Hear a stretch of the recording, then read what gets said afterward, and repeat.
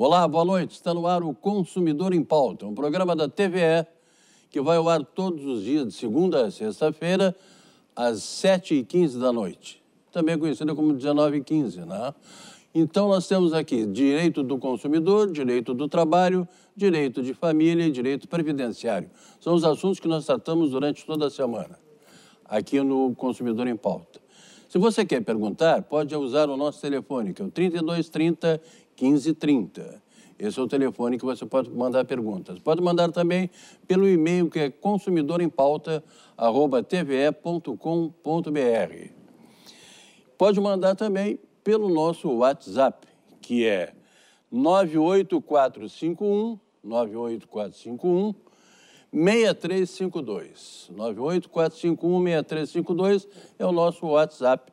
Você manda a pergunta para cá, escreve a pergunta ou grava, né? Aí vai aparecer bonitinho na televisão ali. É só usar o celular na horizontal. Tá bem? Estamos combinados assim? Então vamos lá. Podem perguntar. Direito de família é o tema do programa de hoje e eu vou conversar aqui com muito prazer com a doutora Delma Silveira Ibias, que é a pessoa que todas as semanas vem aqui responder sobre direito de família. Doutora Delma, boa noite. Prazer em tê-la conosco. Boa noite, Machado. Prazer é todo meu estar aqui novamente.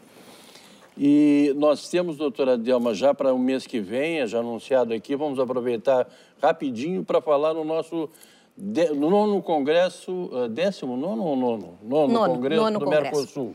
Nono Direito congresso. de Família. Isso, é um congresso já tradicional, está na nona edição.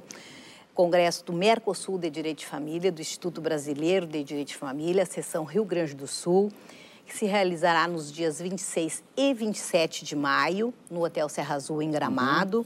E nós estamos trazendo sempre, a gente prima por escolher um, um naipe do, do mais elevado de palestrantes de todo o Brasil. Então, são os nomes uh, da mais alta cúpula do direito de família, sucessões, uh, estarão em Gramado e tem a possibilidade de apresentação de trabalhos científicos e tudo mais. Então, entre no nosso site lá, Congresso IBDFAN, e, e, vejam todas as informações, porque vai estar bem legal. Todos os operadores de direito não podem perder esse congresso. Isso, isso é, um, é, um, é um congresso realizado pelo IBDFAN? Pelo IBDFAN Rio Grande do Sul. Perfeito. Então, vamos lá. Vamos às perguntas, que o tempo é curto e a gente tem muita pergunta chegando aqui. Nós vamos aproveitar para explorar um pouco a doutora Delma aqui no nosso programa. Tem um telespectador que pede para não ser identificado, ele diz que ele é casado oficialmente. Só que há muito tempo, ele, ele, embora eles morem na mesma casa, maritalmente eles não vivem. Eles não têm uma convivência de marido e mulher. Tá? Ele, tanto que ele tem uma namorada que agora está grávida. Só que a mulher dele disse que quando essa criança nascer, ele não vai poder registrá-la porque ele é casado. Então, ele quer saber, doutora Delma Silveira Ebia, se ele pode ou não pode registrar essa criança. Ele não só pode, é um, um espectador que não se, se identificou, é. né? Ele não só pode, como deve. E essa é a obrigação do pai e é um direito do filho. Então, não temos mais essa é, é, essa tarja que nós tínhamos, que era um, um, uma tarja muito pejorativa, isso uh, perdurou já por muitos anos, uh, com a nossa Constituição de 1988, todas essas, essas diferenciações foram uh, excluídas do nosso mundo, e já não era, já era muito tempo de fazer isso. Então, deve sim registrar, não tem mais qualquer designação, não vai ser seu filho, sim, não só registrar, como criar, dar afeto, amor e carinho. Pode, inclusive, colocar o um nome. Sim, não só pode, como deve. Deve. Perfeito. Deve. Tá é um direito que a criança tem. Nosso telespectador aí, como a doutora Delma esclareceu, então vamos providenciar, né? Deixa a criança nascer e vamos registrar direitinho. O Paulo, que mora aqui na cidade de Canoas, ele disse que se separou da companheira dele, com quem ele viveu há algum tempo. Agora ela quer vender a casa onde eles moravam, mas ela quer vender com urgência. Só que ele constatou que o preço está muito baixo, porque o mercado realmente está em baixa. Então ele quer saber o seguinte: ele quer esperar um pouco mais e quer saber se ela pode, sozinha, vender a casa sem a participação dele. Pois é, aí ele está dizendo que é companheiro, né? Então, Companheiro. vamos deduzir que seja que, estejamos falando de uma união estável. Bom, ah, em tese, a união estável, todos os bens adquiridos durante a união de forma onerosa, ah, divide-se igualitariamente quando da separação, porque atribui-se a comunhão parcial de bens, nesses casos. Só que ele deve tomar um cuidado, sim, porque, como ele diz assim, que é companheiro, então, às vezes, acontece de os bens ficar em nome de um só. Então, se lá no registro de imóveis estiver somente no nome da companheira, ela pode eh, alienar, vender, locar, enfim, sem que ele fique sabendo. Né? Então, ele tem- deve ficar atento. Mas o mais correto é, é ingressar com uma ação de dissolução, de união estável. Se for consensual, pode fazer até extrajudicial no cartório. Né? E aí fica descrito que esse bem é dos dois, que, que está à venda e que é com essa crise que, está, que assola todo o país, né? Às vezes é melhor aguardar um pouco, porque os dois acabam perdendo, né? É verdade. Não precisa ter, não não não está muito fácil hoje, então de repente ou às vezes o melhor é esperar um pouco. O Orlando, que mora no bairro Sarandia, aqui em Porto Alegre, ele disse que foi adotado quando ele era criança. Era bem pequenininho, foi recém-nascido, foi adotado. Agora o Orlando vai ser pai também. E ele tem uma vontade muito grande de conhecer, de saber quem são os verdadeiros pais dele. Ele quer saber se ele pode fazer isso e como é que ele deve fazer isso, doutora Delma. Olha, senhor Orlando, aí é uma questão eh, que é mais uma questão fática, social, do que jurídica. Porque ele vai ter que buscar no antepassado, lá, com vizinhos, com alguns parentes, com conhecidos, eh, talvez nas santas casas, eh, onde foi, onde foi o nascimento, ele vai ter que fazer uma investigação, muitas vezes até contratar um detetive para descobrir, porque se a pessoa não tem, nem nenhum familiar nos traz esses dados, esses indícios, fica difícil de, de descobrir, né?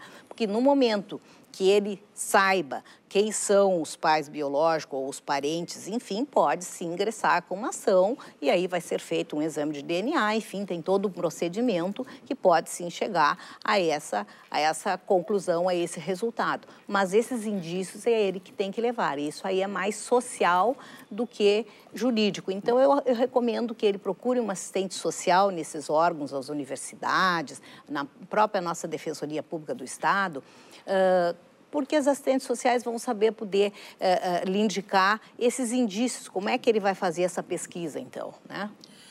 É, às vezes a pessoa quer saber apenas por, por saber, por conhecer Sim, os é- é pais. né? natural- Talvez é não natural que interesse em, em outro que não seja ou apenas conhecer os pais, É. de verdade. A telespectadora Ana Maria quer saber o seguinte: ela manda dizer aqui que ela é solteira, sem filhos e sem pais. Ela só tem, parece que, irmãos. Ela tem algumas propriedades imobiliárias e gostaria de saber se ela pode deixar um desses imóveis para um afiliado dela que não é parente. Pode? Bom, a nossa telespectadora Ana, Ana Maria, Maria. Pode sim, porque a ordem da vocação hereditária são os descendentes que são os filhos, os ascendentes que são os pais e o cônjuge ou companheiro. Como ela foge de todas essas regras, ela já nos, nos dá as informações aí. Então, não tem pai, não tem marido, não tem companheiro. Então, ela pode dispor da totalidade do patrimônio dela, ou através de doação, através de testamento, como ela achar melhor. E ela pode sim, então, aí ela fala um bem, pode deixar, não tem problema nenhum, ela pode fazer isso através de uma escritura de doação, se quiser reservar os frutos para ela, pode, mas pode fazer também através de testamento. E não só esse bem, como ela refere, como todo o patrimônio dela ela pode dispor. Como ela não tem, então, herdeiros necessários, então não tem por que ela fazer a reserva de 50%. Ela pode fazer, então, a destinação de todo o patrimônio que ela amealhou durante a vida dela. E essa ação tem que ser feita em cartório, com um advogado? Como é que tem que ser? Sim, ela deve fazer, eh, eh, ela pode fazer testamento, pode fazer escritura de doação, ela deve se orientar, sempre, sempre consultar um advogado, porque é, pode, ela de, pode fazer isso administrativamente, através de um cartório, né? E, e, todas as duas situações, tanto a doação quanto o testamento, mas deve ser acompanhado de advogado, e aí também ela vai ter todas as informações corretas, precisas, e às vezes até uh, ampliar mais um pouco essas informações, porque às vezes as pessoas têm um pensamento e não têm conhecimento de todas as possibilidades que existem. Então, é, é recomendável que ela consulte um profissional para que lhe dê todas as, as linhas indicativas corretamente. Perfeito. O nosso tempo é curto, mas a gente conseguiu, de certa maneira, atender os telespectadores que telefonaram, que escreveram para cá para saber sobre direito de família. Quero agradecer muito a presença da doutora Delma Silveira Ibias, que mais uma vez abrilhantou esse programa. Muito obrigado, doutora Delma. Não Volte tem sempre. de quê. A gente está sempre à disposição. Amanhã nós não estaremos aqui, claro, amanhã é feriado, né? Mas segunda-feira a gente volta com o Direito do Consumidor. Muito obrigado, um bom fim de semana a todos, bom feriado, boa noite e até lá.